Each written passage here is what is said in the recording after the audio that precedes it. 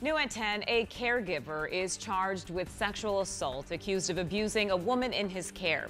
Court uh, court paperwork indicate that he has done it before.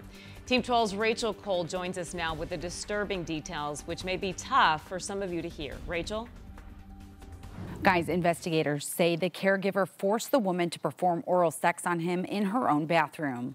But these stories are heartbreaking. AARP State Director Dana Kennedy disgusted with the details. Court documents indicating Nicolae Horga assaulted the 87 year old dementia patient at an unnamed Phoenix care facility last Friday. Another nurse catching the awful act.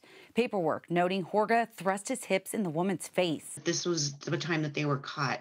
And so that's why we need to make sure that we, you know, look at more legislation. Kennedy, along with other advocates for Arizona's most vulnerable, pushing for more protections for patients of assault and sexual abuse. There's some legislation where you can actually put cameras in and families can be able to monitor what's happening inside these facilities. This isn't the first gruesome case of sexual assault at an Arizona care facility. The case of Hacienda, where the woman was raped repeatedly um, and the evidence was her baby. She actually delivered full term a baby. Since that case, dating back to 2018, Governor Ducey forming a vulnerable adult task force to keep these crimes from happening. However, the pandemic has posed problems. This past year is basically residents have been locked in, families have been locked out. Now, though, new guidelines are making it mandatory for family members to be allowed back into care facilities, no question. Families are able to see their loved ones. They cannot be denied access to their loved one. Even though that may help ease the minds of some, it doesn't change the damage done in this case.